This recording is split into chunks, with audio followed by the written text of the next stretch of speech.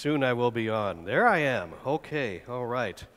Uh, well, as is our custom at the uh, 1045 service when we have it, and this is a blended service today, um, we take a little bit of time to gather together to have uh, a song or two that accomplishes that purpose and uh, helps us to begin to center and to uh, focus on the Lord. And so uh, I want to invite you to open up your bulletins and join us in singing a couple of these songs, starting with Come Let Us Worship and Bow Down.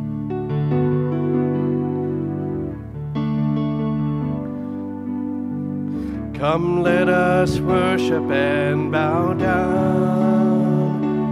Let us kneel before the Lord our God, our Maker.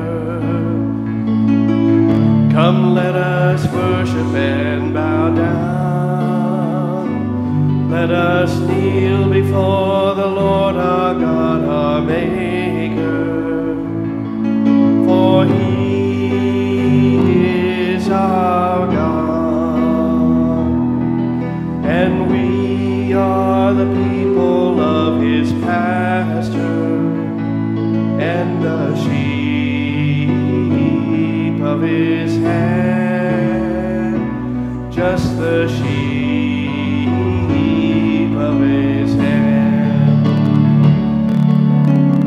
Come, let us worship and bow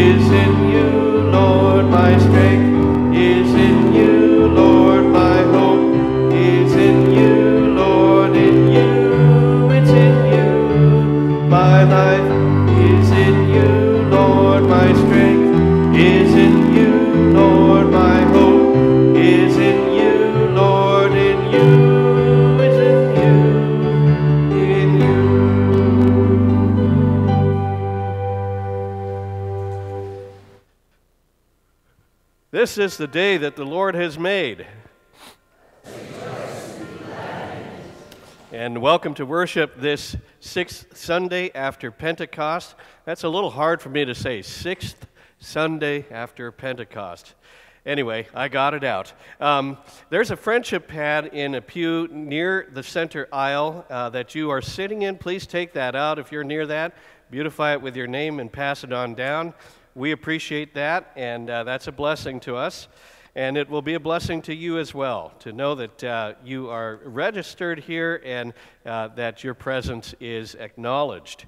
This last week, I attended the biennial convention of the American Association of Lutheran Churches. This was held in um, Plymouth, up in the cities, at the Free Lutheran Bible College and Seminary. It was a great convention.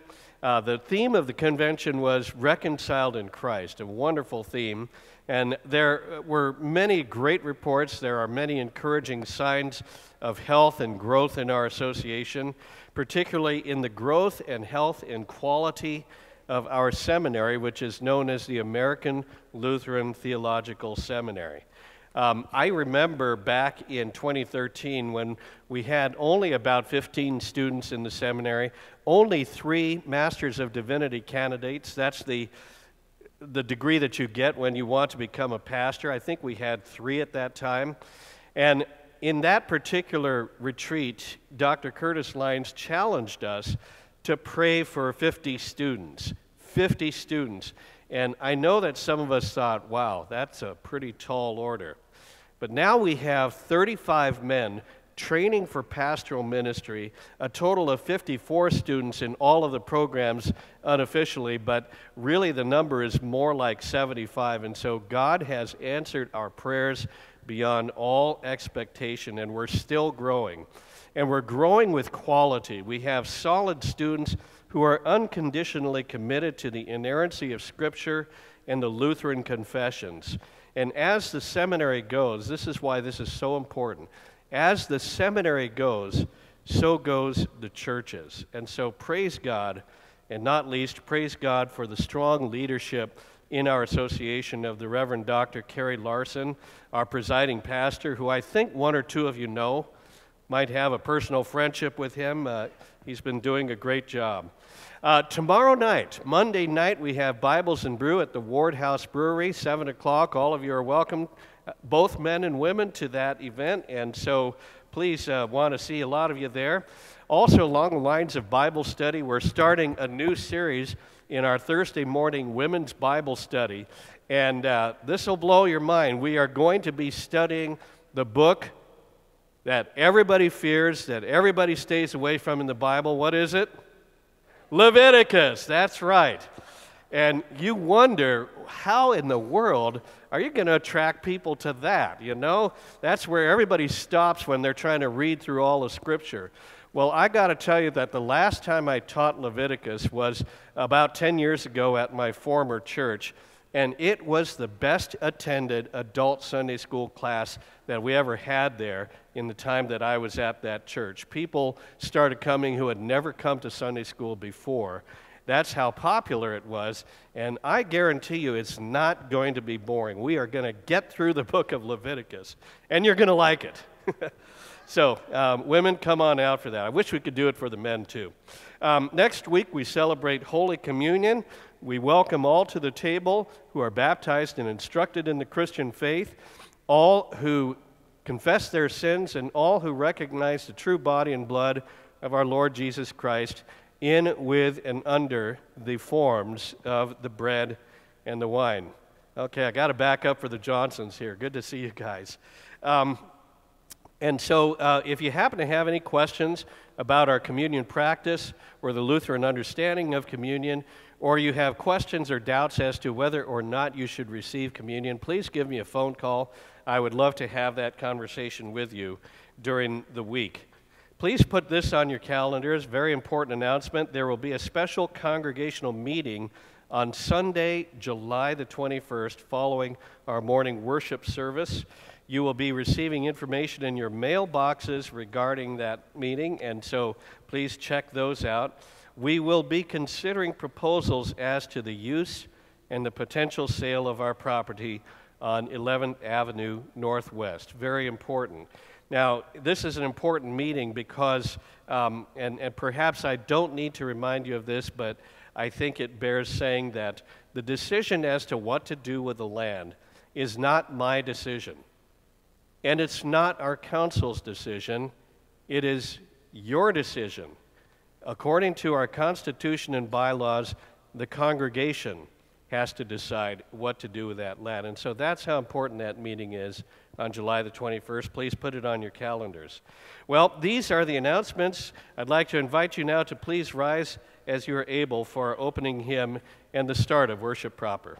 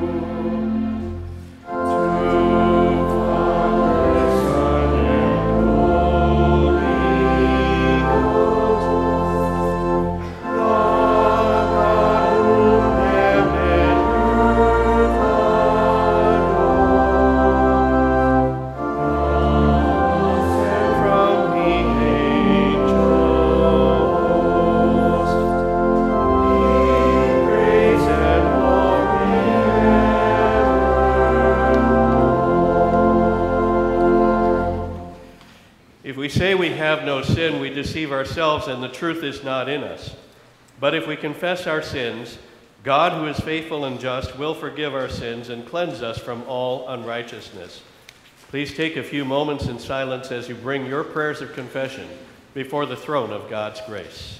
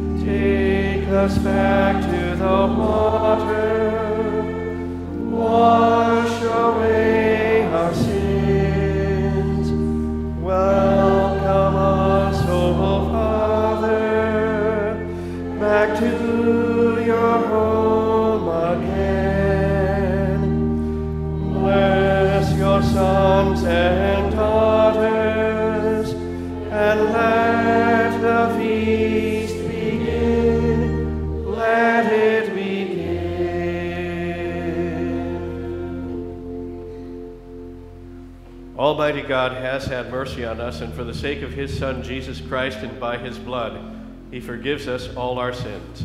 On this your true confession, and in obedience to the Lord's command, I therefore declare to you the entire forgiveness of all your sins, in the name of the Father, and of the Son, and of the Holy Spirit.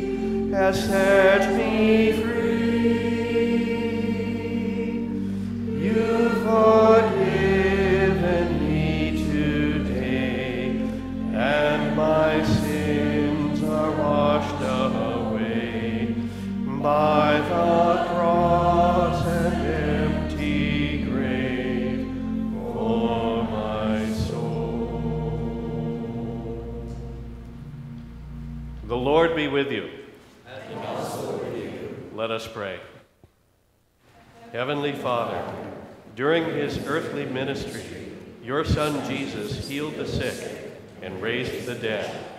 By the healing medicine of the Word and sacraments, pour into our hearts such love toward you that we may live eternally.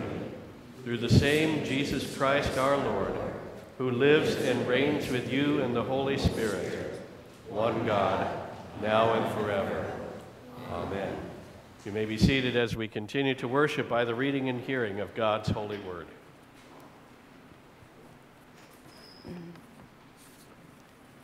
Our first reading comes to us from the book of Lamentations in the third chapter, verses 22 through 33. The steadfast love of the Lord never ceases, His mercies never come to an end. They are new every morning. Great is your faithfulness. The Lord is my portion, says my soul. Therefore, I will hope in him. The Lord is good to those who wait for him, to the soul who seeks him. It is good that one should wait quietly for the salvation of the Lord. It is good for a man that he bear the yoke in his youth. Let him sit alone in silence when it is laid on him. Let him put his mouth in the dust. There may yet be hope. Let him give his cheek to the one who strikes, and let him be filled with insults. For the Lord will not cast off forever, but though he cause grief, he will have compassion according to the abundance of his steadfast love. For he does not willingly afflict or grieve the children of men. This ends our first reading. We will now read responsively by verse Psalm 30. I will extol you, O Lord, for you have drawn me up and have not let my foes rejoice over me. O Lord, my God, I cry to you for help, and you have healed me. O Lord, you have brought up my soul from Sheol. You restored me to life from among those who go down to the pit.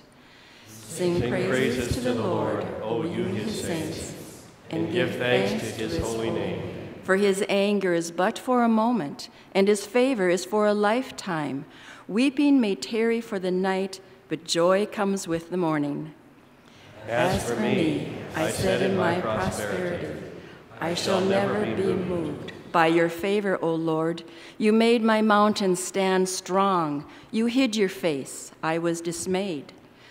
To you, to you O Lord, I cry, I cry and to, and the, to Lord, Lord I plead for mercy. What profit is there in my death if I go down to the pit? Will the dust praise you? Will it tell of your faithfulness? Hear, Hear O Lord, and, and be, be merciful, merciful to me. O Lord, be, be my helper. You have turned for me my mourning into dancing. You have loosed my sackcloth and clothed me with gladness, that, that my glory may sing your praise and not be silent. O Lord, my God, I will give thanks to you forever. Psalm 30. Our epistle reading is from 2 Corinthians, the eighth chapter, verses 1 through 9 and 13 through 15. We want you to know, brothers, about the grace of God that has been given among the churches of Macedonia.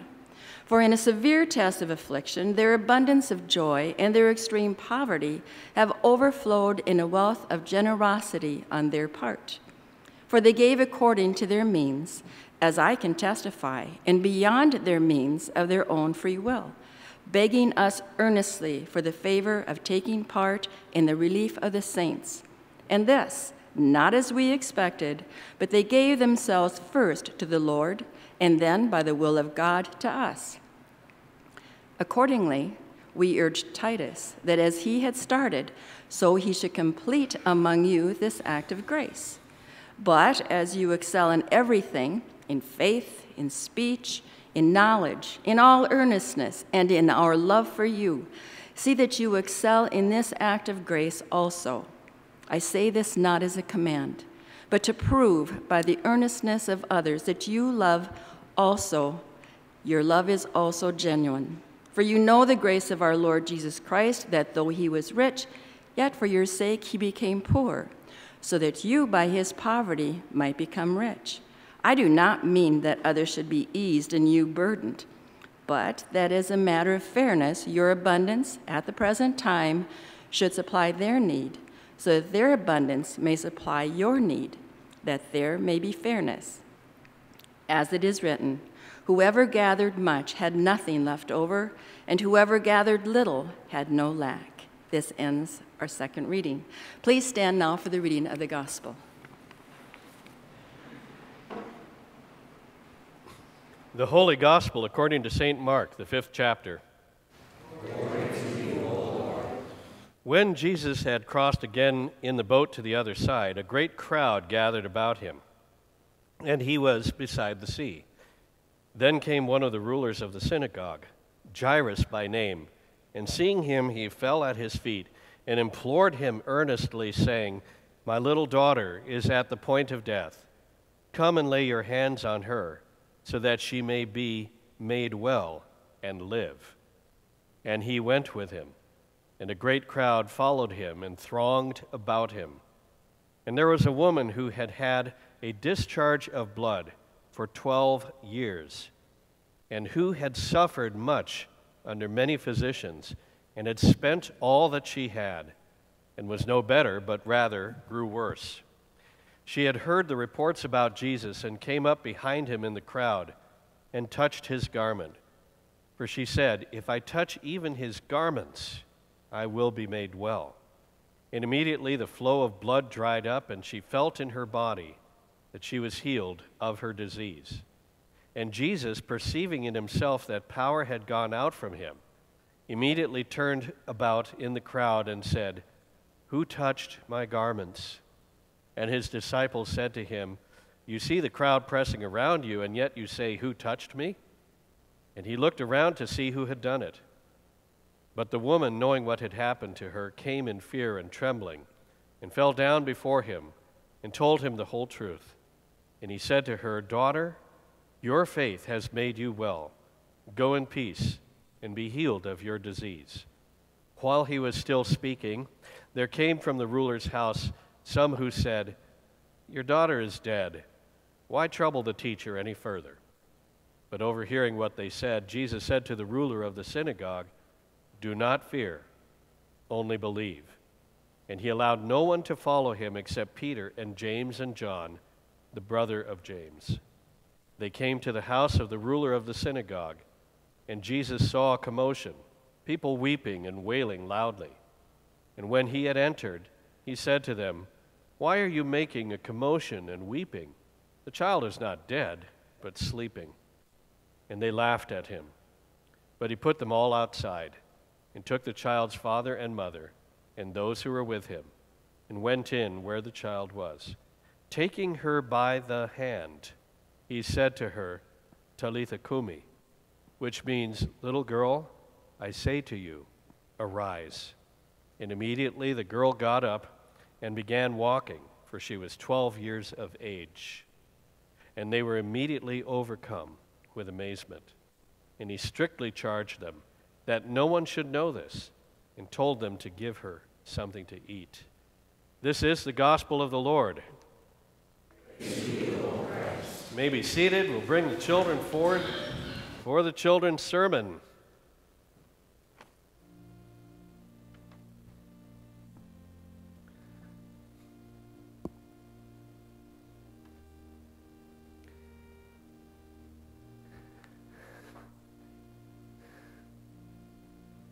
Well, howdy. Hi.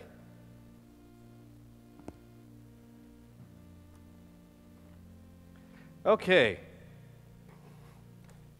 I'm going to give you guys a bag. Not, not that one, but this one here. And uh, this is going to be kind of all your bag. I mean, you can, you can think of it as your own. And um, I want you to uh, take a look inside, take a close look, and tell me what you see in there. Trash? Does it look like trash to you? Daniel, you're an analytical type. How do you analyze that? Yeah, he, he would say trash. Something like from lunch or dinner. Yeah, well, let's see. There's, there's this. Um, oh, somebody was drinking Gatorade, I guess. Uh, uh, we got a couple of weeds and, um, oh gosh, an old butter container. Um, now, let me ask you something a little dangerous. Now, you know, every once in a while, my children's sermons sort of go off the rails. They go a little bit too far. But I'm, gonna, I'm, I'm going to take a risk with you guys. Would anyone like to smell this? okay, Isaac, you're on. Give it a whiff. What, what do you smell? Uh uh uh. There, there's something in there. Yeah. Um, well, there's, there's this bag here. And uh, yeah, that's, that's definitely trash. And it, um, I would say by the look and, and by the smell of it, this is really, really, I mean, it's, it's gone bad already. And there, there's other junk in here. There's a can, there's some, some papers. Okay. Yeah, yeah, you can. Don't smell that, Abigail. You're not going to like it.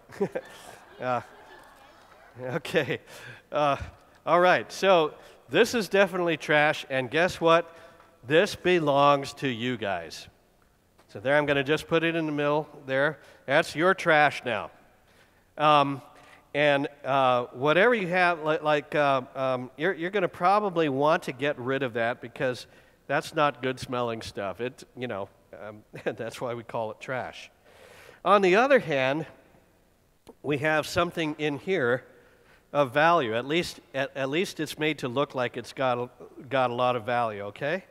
And that is this golden crown, all right? And now, if, if you just pretend that this is real gold, it's not, but just pretend that it is, that's a whole lot different from that bag, isn't it? Would you not say that that's a whole lot different? Just pretend for right now that, that that's genuine. Okay, and so we've got the trash and we've got the gold crown. And uh, I'll tell you what I'm going to do. Do you want to get rid of that trash? Yeah, absolutely. You want to get rid of that trash. How about if we make an exchange? Does that sound fair? You get the crown of gold, and I get the trash.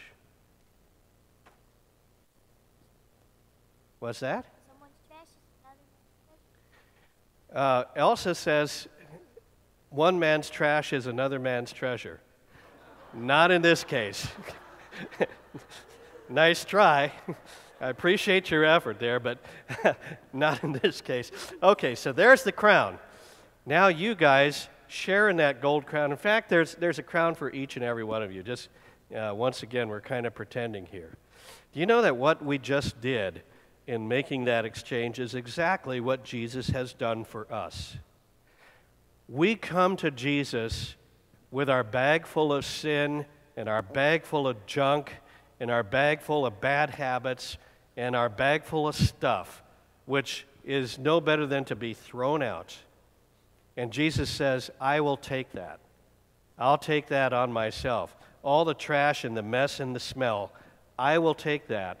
And in exchange, you get my righteousness. In other words, what Jesus gives you when we put our faith and trust in Him is it's as if we were standing before God, Almighty God, and we're clothed in His royal robes, in His righteousness, and crowned with His crown. Now, you might say, that doesn't seem like a fair exchange, and you know what? If you were to say that, you're absolutely right. It's not fair, it's grace. And that's why we believe in Jesus, because Jesus on the cross has done something very special for us. He took our trash and he became sin. Scripture says that. He became sin so that we might become the righteousness of God. You think you got that? Okay, good. Let's pray, and I'm going to pray that by the Holy Spirit that that lesson really sticks with you guys, and you're going to pray for the congregation that they get it too. So stand up, close your eyes, put your hands together, bow your heads, and let's pray. Lord Jesus Christ, our God, we thank you that you made a tremendous exchange with us, and you took on yourself all of our sin and mess and smell and junk. And you gave us a crown of righteousness. We thank you, Lord Jesus. We can't understand that, but by faith we accept it. And I pray, Lord, that our kids would remember that and that all of our people would remember that you made for our sakes a great exchange. We pray it, Lord Jesus, in your most blessed name, and all God's people said, Amen. Amen. Okay, now, take, no, don't take it with you. I'll just leave it up here. All right. And, uh, you know, not only do you get the crown of righteousness, but um, you get candy too. What a deal. So here you go.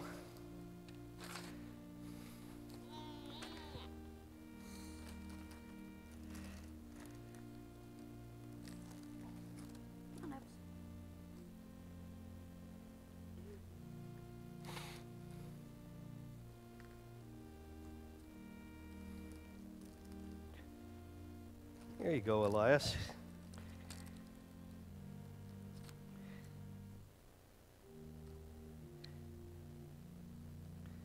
Great, good job.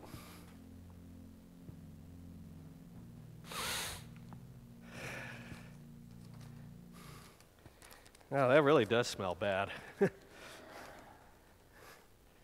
yeah, my wife is going to kill me. well, anyway, the Lord be with you.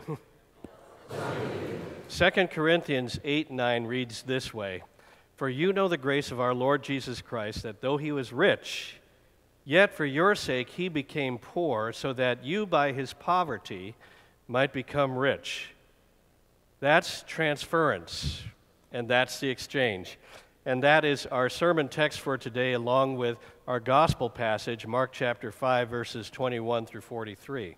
We are poor we are poor in God's eyes, but in a gracious exchange, Luther called it a happy exchange. God's spiritual blessings become our spiritual blessings at Christ's expense. Transference, it is the concept that ties our epistle today with our gospel reading. Mark chapter 5, verses 22 through 42, is really two stories that are sandwiched together. Jesus is summoned by Jairus, the synagogue official. And now notice that Jairus, being an important man, is judged rich by his culture. But he humbles himself and becomes spiritually poor. He becomes a beggar when he falls at Jesus' feet and begs him to heal his daughter. The inside of this scripture sandwich is the story of the woman with the discharge of blood.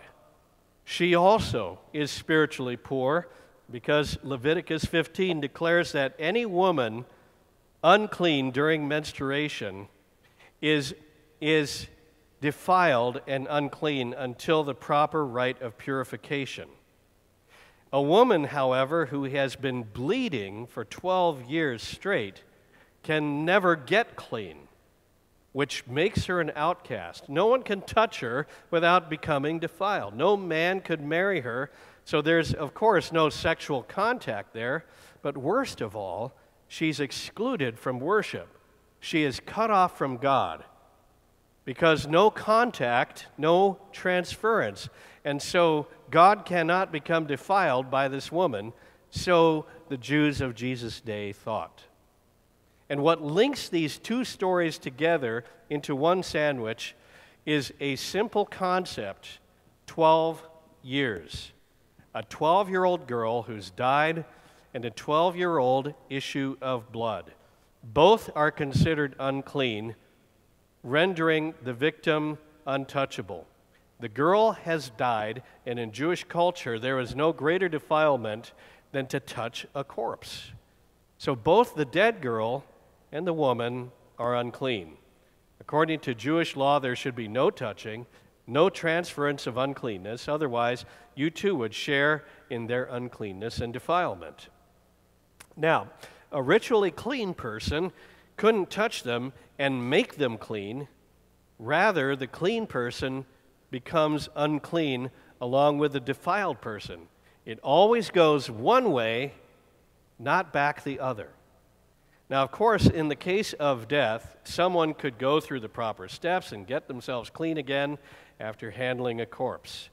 But a woman who was continually bleeding could never really be made clean. Her uncleanness was a problem that just went on and on and on.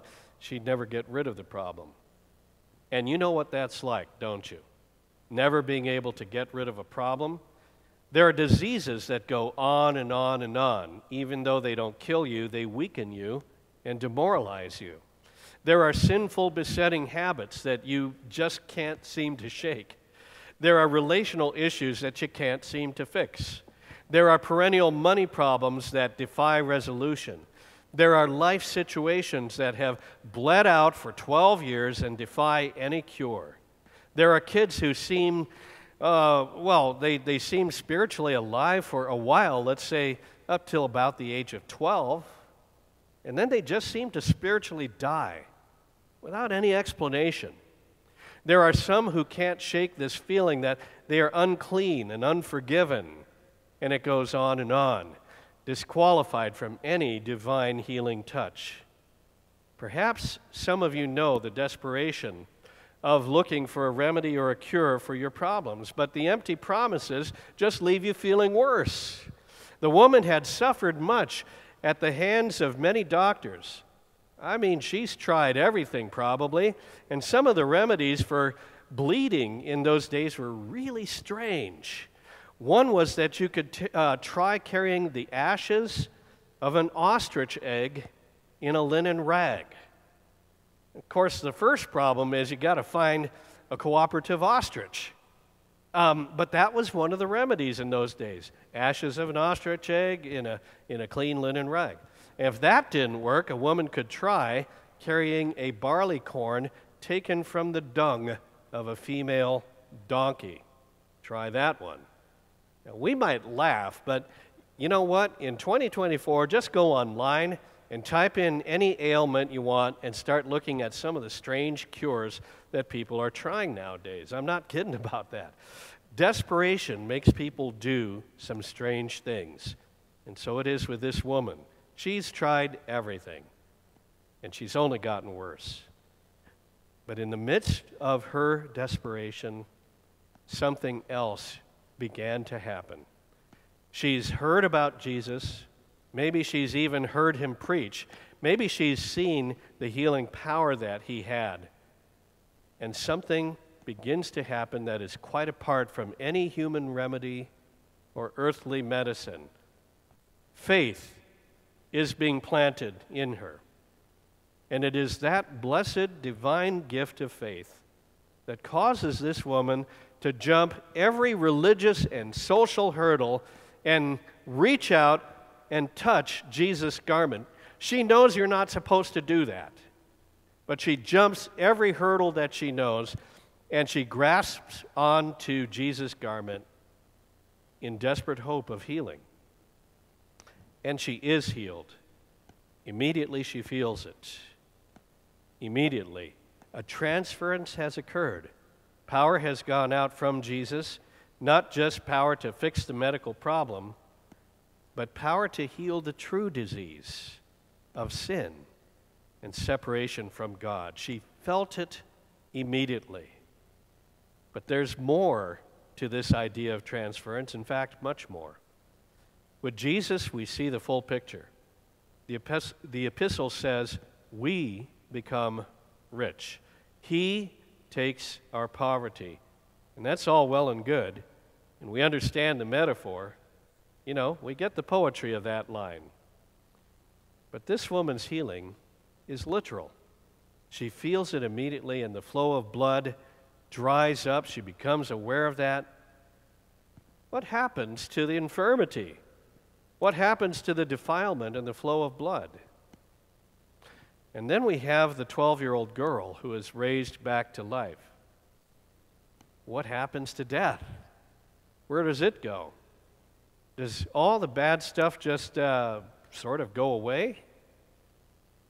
No, because with Jesus, the transference goes both ways.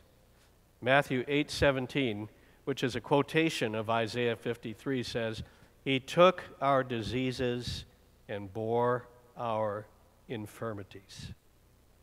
And so when our Lord Jesus was crucified, he became sin, became defiled. He bore the woman's illness and ours. His blood flowed instead of hers, and he gave himself over to death and the grave. Isaiah the prophet says it the best Surely he has borne our griefs and carried our sorrows, yet we esteemed him stricken, smitten by God, and afflicted. All we, like sheep, have gone astray. We have turned everyone to his own way, and the Lord has laid on him the iniquity of us all. But he was pierced for our transgressions, he was crushed for our iniquities. Upon him was the chastisement that brought us peace, and by his wounds we are healed. All the defilement of blood and sin and death was transferred to Jesus. It's a happy exchange. And that's why what Jesus offers is radically different from any therapy or self help project out there. The woman with the hemorrhage did not hit upon some magic principle that could be bottled or sold. The point is this He who was rich became poor that we might become rich. And how that happens is mysterious. The raising of the little girl is even more clear. You can't get much more helpless than being dead. And the girl is all of us.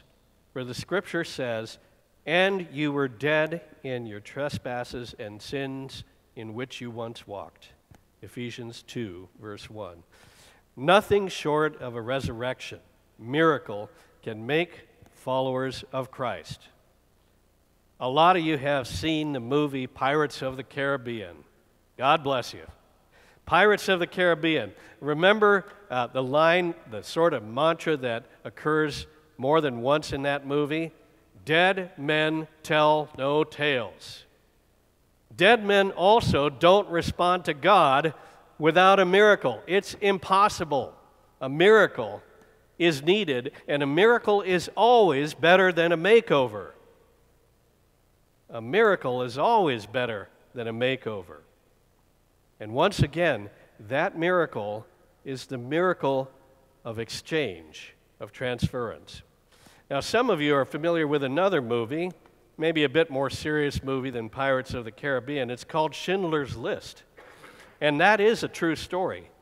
In this movie, it is World War II, and Oskar Schindler is a Nazi Party member and a self described profiteer of slave labor. He runs an armaments factory which employs Jews from the local concentration camp. And for reasons not entirely explained in the movie, this morally compromised character, Oskar Schindler, undergoes a transformation of heart. He begins to use his position of authority to try to save as many Jews as possible and he consistently outfoxes his Nazi superiors and finds ingenious ways of making his factory appear productive when all the while, in fact, it is a model of inefficiency. He risks his own neck as he arranges the escape of Jews whenever he can.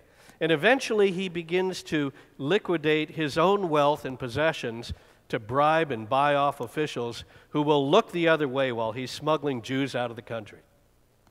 Well, it so happens that the Nazi SS finally comes in with orders to enact the final solution and ship off all the Jews in Schindler's district to the concentration camps.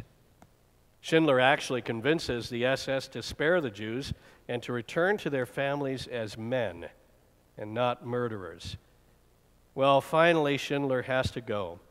And so he packs his car in the night, bids farewell to all the Jewish workers, and they give him a letter explaining that he is not a criminal to them, together with a ring secretly made from the workers' gold dental bridge and engraved with a quote from the Talmud, a Jewish holy book Whoever saves one life saves the world. Well, Schindler is touched, but, and, but he's deeply ashamed. He feels he could have done so much more to save many more lives. He could have sold his car or his party badge or some other trinket, if only to save one or two more lives. And he's weeping now. How many more lives could have been saved? Well, that's how Schindler decided to spend his wealth. And what a picture of transference it is. Schindler's wealth was his power. And as with Jesus, power went out from him. His impoverishment meant life for many. We are saved not because we deserve it or can afford it, but because someone else became poor, someone who transferred his wealth to us. We are not healed by our own powers or our insights. We are not raised from the dead because we made the heroic choice to commit our lives to Christ, but because Christ committed himself to us and spoke the word over us, and in exchange took all the defilement that was us, all our stench and our garbage, all our disease and death. Because we have been baptized and raised in union with Jesus Christ, his riches are at our disposal. Given the spiritual poverty of this fallen world and the reality of our riches, there's only one reasonable act of service, of worship, that makes any sense for us. And that is for us to agree that power and riches will now go out from us. Riches being transferred, exchanged, if need be. And that is what we have signed on for by being Christ the King, Lutheran Church. So think about what you're doing next week when you come forward for Holy Communion. The riches of heaven will be shared with you then at this altar, around this rail. That's transference. And then think another thought, go one step beyond, and think about how to be rich toward your neighbor. To that person in this town, in our context, whether they're a backslidden Lutheran, you know, there's a few thousand of them in this city. I think you might be aware of that. Whether they happen to be a backslidden Lutheran or just a good old fashioned American pagan who needs to hear the gospel and see your good works so that he or she may glorify your Father in heaven. Think about that person or those persons as you prepare yourself for Holy Communion next week. Don't be reluctant for power to go out from you. Don't fear to loosen your mouths and talk about Jesus. And do not fear when you loosen your pocketbooks in service to your neighbor in need. As our scripture says, do not fear, only believe. Amen. Please stand, and we'll continue to worship by reciting together the standard of our unity in faith as embodied in the Apostles' Creed. Let us join in confessing our faith using these words I believe in God the Father Almighty, maker of heaven and earth and in Jesus Christ, his only Son, our Lord, who was conceived by the Holy Spirit, born of the Virgin Mary, suffered under Pontius Pilate, was crucified, died, and was buried. He descended into hell. The third day he rose again from the dead. He descended into heaven, Father Almighty. From thence he will come to judge the living and the dead. I believe in the Holy Spirit the Holy Christian Church, the communion of saints, the forgiveness of sins, the resurrection of the body, and the life everlasting. Amen. You may be seated as we continue to worship by the giving of our tithes and offerings to the Lord. The ushers will keep the plates uh, back in the narthex when we have concluded the offering.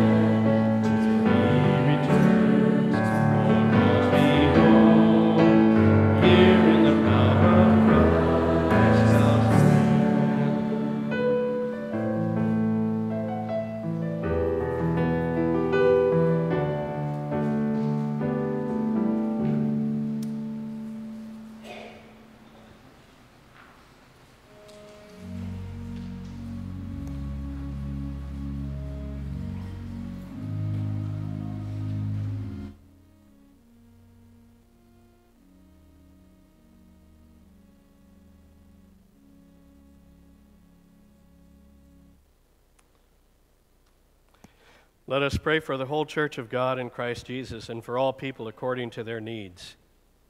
O Lord, from whom our help comes, you have brought us into your holy Christian church and made Christ our shield from every enemy. Preserve us in such faith until at last you bring us out of this world in the resurrection forevermore. Lord, in your mercy. Holy Father, you have shown to your church the grace of our Lord Jesus Christ, who for our sakes became poor, that by his poverty we might become rich. Give us generous hearts, that our abundance may supply our fellow saints in their need. Let all true preachers of the word serve for the sake of Christ's call, not for earthly gain.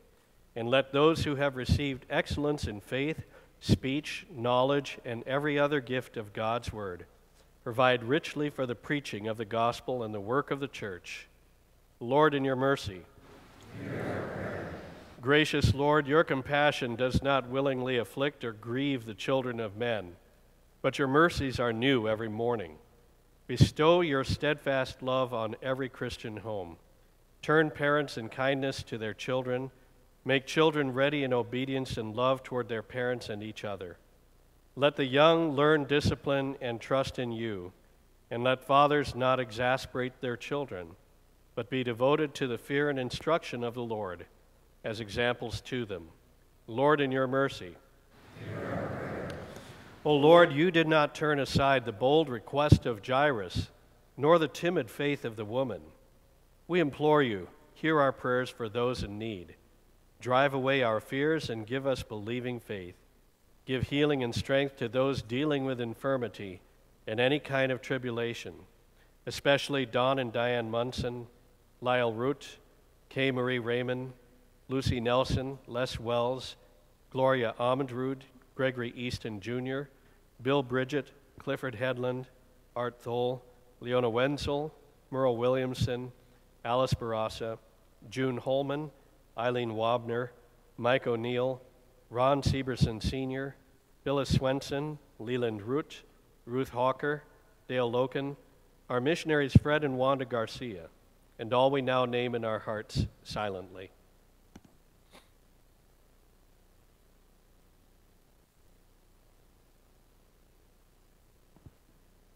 Lord, in your mercy. Lord, may your grace rest also upon the households of Riley Arnhold and Vanessa, Reagan and Colton Barr. Grant them the blessings of good health, joy in their salvation, and the abiding fellowship of your Holy Spirit. Lord, in your mercy.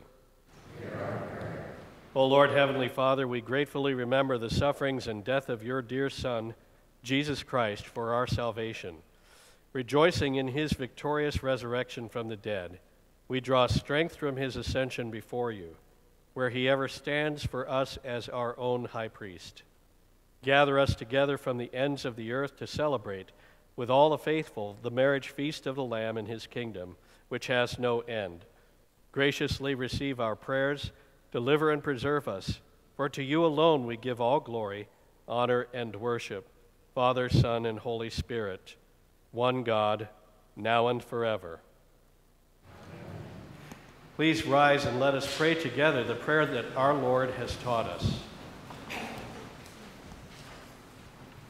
Our Father, who art in heaven, hallowed be thy name. Thy kingdom come, thy will be done, on earth as it is in heaven. Give us this day our daily bread, and forgive us our trespasses as we forgive those who trespass against us. And lead us not into temptation, but deliver us from evil. For thine is the kingdom, and the power, and the glory, forever and ever. Amen. And now receive the benediction, the blessing of our Lord. Lord bless you and keep you. The Lord make his face shine upon you and be gracious unto you. The Lord lift up the light of his countenance upon you and give you peace. And all God's people said, Please sing out on our closing hymn, Great is Thy Faithfulness.